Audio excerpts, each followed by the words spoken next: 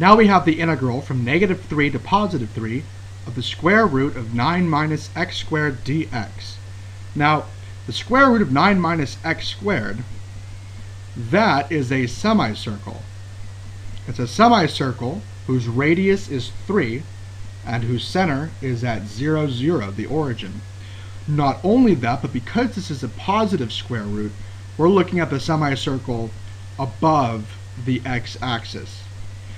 Now, we're looking from x equals negative 3, 1, 2, 3, over to x equals positive 3, 1, 2, 3, which is actually probably an amazing thing because this circle has radius 3, because that right there is the radius squared.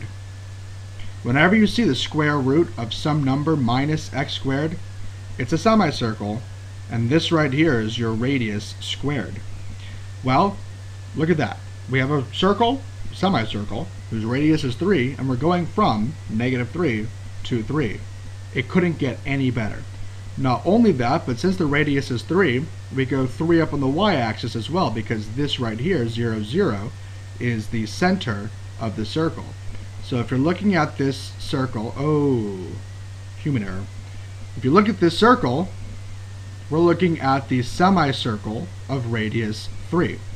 Well, if you think of the circle's area as being pi r squared, then that means that this is 1 half pi r squared, and our r here is 3. So the actual answer here is 9 over 2 pi.